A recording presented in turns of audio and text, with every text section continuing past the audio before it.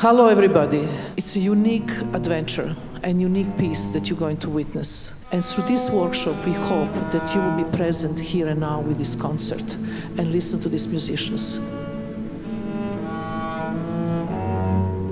Thank you. The concert is going to start.